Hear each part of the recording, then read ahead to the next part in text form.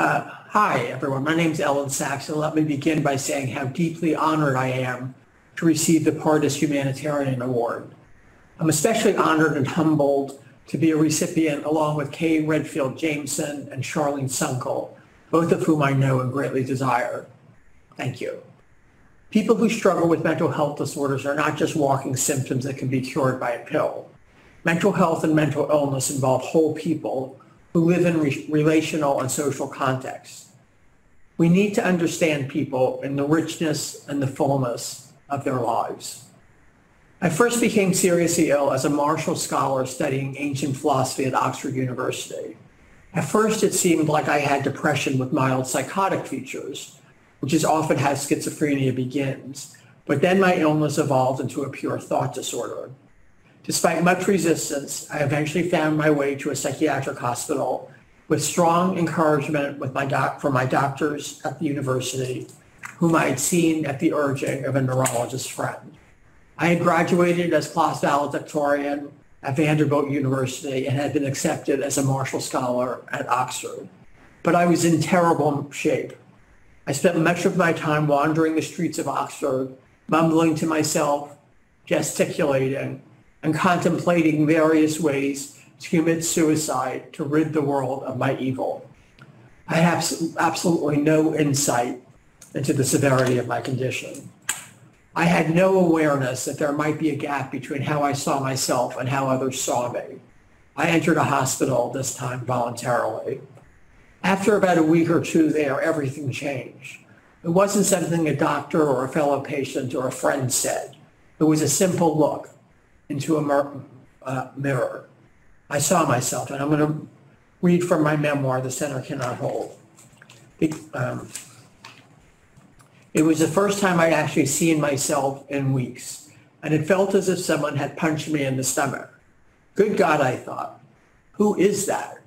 I was emaciated and hunched over like someone three or even four times my age. My face was gaunt. My eyes were simultaneously vacant and full of terror. My hair was wild and filthy and my clothes wrinkled and stained. It was the visage of a crazy person on the long forgotten back ward of a hospital for lunatics, ending the passage. The gap between who I imagined myself to be and whom I saw in the mirror that day was profound and unavoidable. Far from making friends with my mental illness, until that moment, I didn't truly understand that I had a mental illness to make friends with. That moment, that look in the mirror, was the beginning of a journey that would last over 40 years. I began my first work with a psychoanalyst at Oxford, and it was difficult and painful work. What I noticed from my first experience with intensive psychotherapy is two things. First, my analyst was hugely helpful in diffusing a sense of shame that went along with the thoughts I was having. My thoughts were violent and deeply disturbing about myself and other people. My analyst, who I'll call Mrs. Jones, was able to tolerate everything it's difficult for me adequately to convey how helpful it was to me to have someone listen, not judge me, and not threaten to put me in the hospital or call the police, as might have happened in the U.S. Second, I noticed that as I felt more related to my analyst with Mrs. Jones, I began to make friends and found it easier to work again. I want to note and emphasize that the most helpful consultant that I had in England said two things. First, I needed to be in an intensive psychotherapy. And second, I should be back at school as a way to exercise my mind. I will forever be grateful to that consultant. Everybody else was saying I should just withdraw from school and go back to America. I finished my degree at Oxford and I came back to the States to study law at Yale. My transition was rocky. For someone not familiar with a psychotic illness, it's difficult to understand that at this point, I still didn't really believe I had a mental illness. I thought was that I was different from other people, not in a good way, but that through the exercise of willpower, I could tame whatever was wrong. Quite literally, like one has a wild horse in a corral that you must tame. The challenges I framed it at that point in my life was to take that woman who I'd seen in the mirror and tame her and groom her. Or maybe just make sure she's always stayed at home uh, when I went out. She wasn't my friend. Shame is a pervasive experience of people with psychosis. Often we're ashamed of what we're thinking and so we hide our thoughts from other people. Shame undermines relationships and it can stop a relationship from growing. Healing does not occur in isolation. It's painful to me when I speak with mental health professionals working in community mental health centers who measure their caseloads in the hundreds. I have a good friend who is a psychiatrist at uh, West Side Clinic. She had 350 patients. How on earth do you do that? Healing begins in relationship. A person's relationship with a mental health professional is an integral part of the healing. I worry tremendously that this point has been lost on our policymakers. Of course, other relationships are healing as well. After I was hospitalized upon returning to the U.S., I took the rest of that year off, what would have been my first year at law school, and then I returned the following fall to begin again. It was when I began Yale Law School a second time that I made my closest friend in a man named Steve Behnke. Steve is an attorney and a clinical psychologist with an appointment at Harvard's Department of Psychiatry. Reading from the text. One of the worst aspects of schizophrenia is the profound isolation, the constant awareness that you're different, some sort of alien, not really human. Other people have flesh and bones and insides made of organs and healthy living tissue. You are only a machine with insides made of metal. Medication and talk therapy allay this terrible feeling, but friendship can be as powerful as either. Steve and I were in contracts class together, and a couple of times he asked me for an assignment. Other than that, we'd never really spoken. But one night we were in dinner, at dinner uh, at the law school, and the conversation that night was casual and pleasant, drifting from one subject to another, classes and law journals and summer jobs. I noticed that Steve, Steve seemed engaged enough. He nodded, he smiled. But after a while, it began to look like simple politeness. As our classmates got up to leave the table, I realized I wasn't ready to go just yet. And there began one of those conversations that last for a lifetime, one in which there was immediate comfort and acceptance, the equivalent of someone's strong hand offered to you when you most need to grasp it. That first talk flew far and wide, how we got to Yale, who our families were, then philosophy and religion and what mattered to us and why. Steve had majored in classes at Princeton, where he was named the salutatorian of his class and spoke in Latin at graduation. The summer after graduation, he worked as a janitor at a small town airport, and then he went off to Rome, where he lived with a group of Benedictine, Benedictine monks and read Latin at the Vatican with a monk who served as the Pope's Latinist. He considered entering the monastery and studying medieval philosophy, but decided against it because medieval philosophy had ceased to hold his interest, at least as a lifelong endeavor. Instead of becoming a monk, Steve came to Yale Law School, and so did I. And neither one of us was quite sure why. Sometime later, it occurred to me that at the very moment I was being tied to a bed in a psychiatric ward, screaming blood, bloody murder and afraid for my life, Steve was singing Gregorian chant in a monastery overlooking the ancient city of Rome. And here we were now, come to the same place from two very different directions. It was past midnight when we said goodnight, and as I walked back to my dorm room, I had the distinct feeling, in the middle of my usual muddle, that I'd been unexpectedly blessed. I don't know why I decided to tell Steve the truth about myself. I don't know why I thought I could trust him, but I did. I believed from our very first conversation that this man would be a significant friend and a force for good in my life. Once the possibility came to my mind, I realized how much I wanted it to be so. But I didn't believe that could happen unless I revealed the truth about myself and let him see me in full. So much of what I did on a daily basis was about faking it.